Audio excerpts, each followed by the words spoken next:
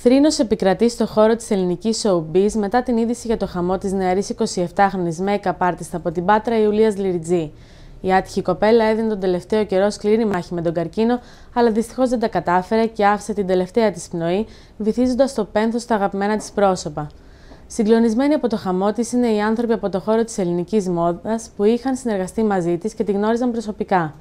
Η 27χρονη Ιουλία Λιριτζή από την Πάτερα εργαζόταν τα τελευταία χρόνια στην Αθήνα, όπου είχε σπουδάσει σε γνωστό ΙΕΚ και είχε κάνει τα πρώτα της βήματα στο χώρο της ελληνικής showbiz, δουλεύοντας ως make-up artist σε show μόδας και άλλες εκδηλώσεις.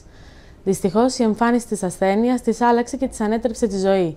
Η Ιουλία το πάλεψε πολύ και ξεκίνησε χημειοθεραπείες για να αντιμετωπίσει τον καρκίνο. Ήταν δυνατή και αισιόδοξη. Το πρόβλημα της υγείας της όμως την ανάγκασε να μειώσει τις ώρες δουλειάς της πολύ διακριτικά και αφού είχε ενημερώσει μόνο λίγους, πολύ κοντινούς ανθρώπους από το χώρο της δουλειάς για το πρόβλημα υγείας που αντιμετώπιζε, είχε απομονωθεί και είχε επιστρέψει στην οικογένειά της στην Πάτρα.